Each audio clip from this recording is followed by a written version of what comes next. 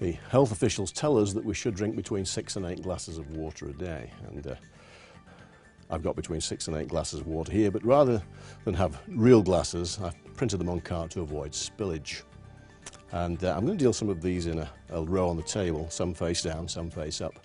I should point out I don't actually drink water myself, I, I know what fish do in it.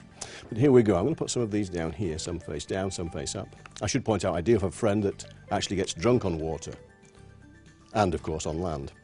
He drinks far too much. Oh, that's wine. Of course, they tell us a glass of wine could be beneficial to us during a meal. But then, I suppose, so could two. My friend did surprise me once. He invited me round and said, uh, do you want a hard drink? I said, sure. He went into the kitchen and came back and uh, gave me a popsicle. I guess that's a hard drink.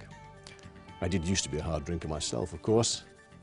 My favourite tipple was um, vodka and cement. I don't drink hardly as much these days, of course. I, I started to see the writing on the floor. Let's just try this one here. Oh, yes. Wine, wine and more wine. Eat, drink and be merry, they say. Let's just take this one through here. And I'd like to say the drinks are on me, but unfortunately the last time the cleaning bill was very expensive.